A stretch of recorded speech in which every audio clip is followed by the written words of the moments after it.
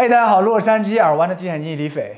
嗨，大家好，我是 David。大卫说，今天我跟大卫一起为大家带来我们团队最新的 listing，在尔湾的 Novel Park 尔湾 Great Park 最核心的区域地段，两房的一间 condo。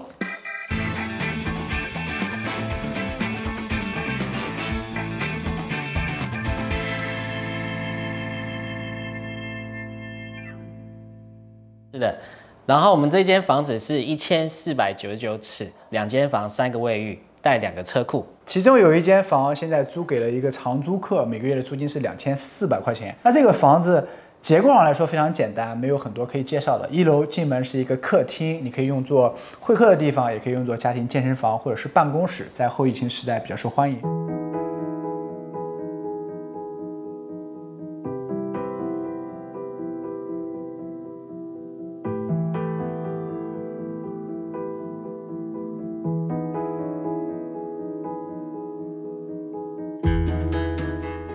二楼的话，像大家看到的是一个大开间，我们的厨房、餐厅，另外一片客厅或家庭厅的区域，加上一个阳台，全部在一起。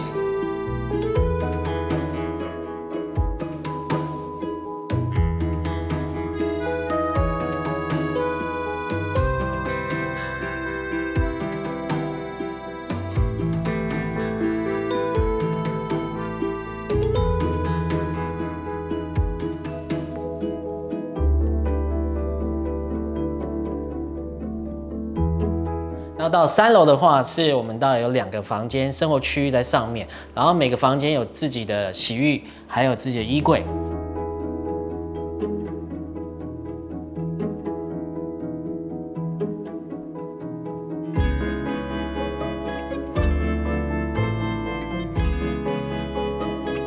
前面我拍过一集视频，跟我的另外一个同事叫 Ashley 讲过，在尔湾或者是热门的这种月租的区域做短租会非常非常的 popular。那这个房子两房在大公园来说，我们曾经有一单订到过六千块钱一个月，是，然后他还跟我说到六千五百块。记得。更不一样，今年的行情会更热，甚至会租到更高的价格。对，所以长租我们有一个租客两千四百块，你可以选择继续跟他续约，或者是请他走 month by month 的。合约，或者是你把它整租出去，租金大概在四千块钱左右。是，那你如果做月租的话，我们团队可以帮你打理，租金大概在旺季六千六千五，淡季的话也要五千多块钱这样一个收益。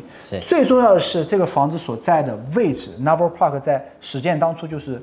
Great Park 的明星社区配套非常好，那整个 Great Park 的社区的像泳池啊这些 Clubhouse 都是通用的，我们待会儿也去看一下。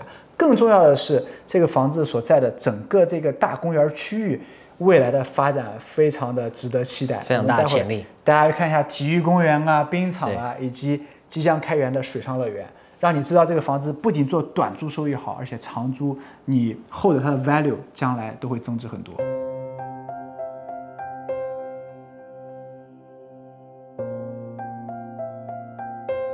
好，我们来到 Novel Park 的 Community Center。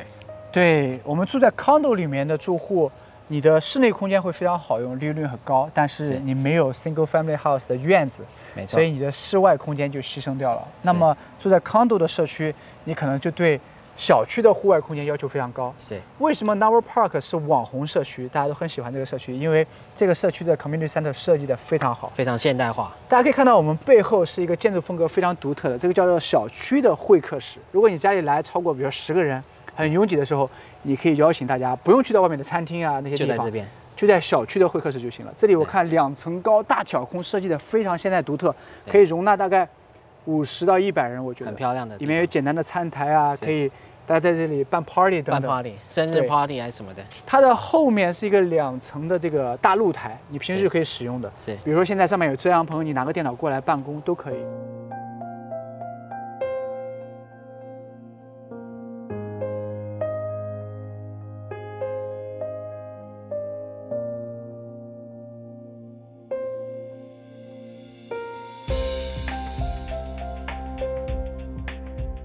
那我们面前是一个狗狗的公园，遛狗，一大片草坪，非常舒服。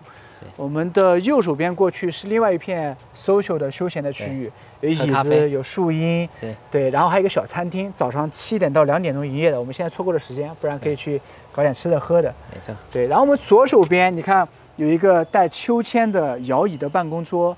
可以在那里吃东西也好，跟朋友聊天也好，甚至是办公都可以。很放松。在那边，对我们是一个 barbecue area，小区里提供免费的烧烤的餐台，然后有这个生火的地方，所以整个这个社区中心非常好，弥补了住 condo 的用户室内空间之余想要在室外活动的这种需求。没错所，以 Novel Park 它是网红社区是有原因的，这个社区的氛围非常有利于邻居啊、爱狗的人士啊结交朋友，所以住在这里的人其实蛮有认同感的。对，还有优越感。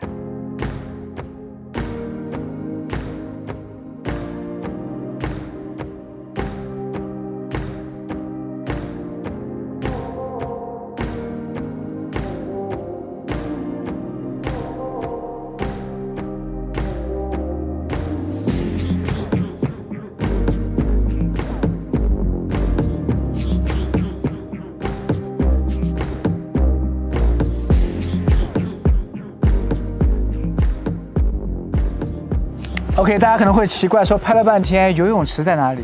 南加州这么好的天气，为什么没有泳池的配套？那 Novo Park 呢？它有两个 HOA，一个是它本身社区的 HOA，这个 HOA cover 你的外墙、屋顶这些保险，所以你买房屋保险的时候费用会便宜一些。是另外一个 HOA 就是整个大公园社区的 HOA，它会提供大公园的 amenities 给你用，比如说我们身后的这个 The Pools，里面有奥林匹克竞赛泳池，有小孩玩的休闲娱乐泳池，所以不要担心说，哎呀，Novo Park 看起来没有泳池可以用，完全不存在这个问题。，而且到处都是公园。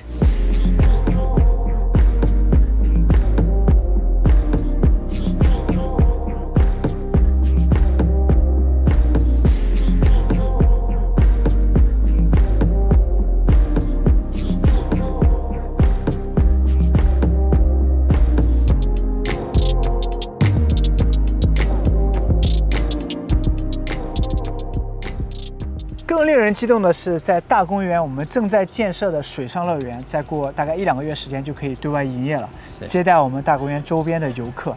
像这样的项目，大公园还有很多，我之前的视频已经反复的介绍过了，很多在规划中的，很多要听证的、计划建设的，比如说已经确定的有啊步行街，没错，有像 Woodbury Town Center 一样的 Plaza，有酒店，那正在准备规划进行听证的有是不是要建高尔夫球场？没错，野生动物公园、水上漂流公园等等。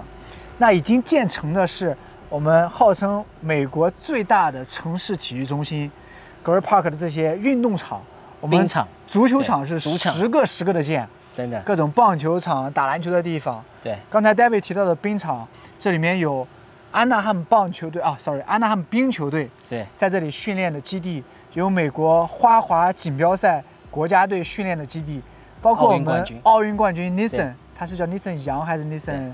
也他在这边。在这里诞生的，他在这里训练，所以大公园未来的发展会非常的蓬勃。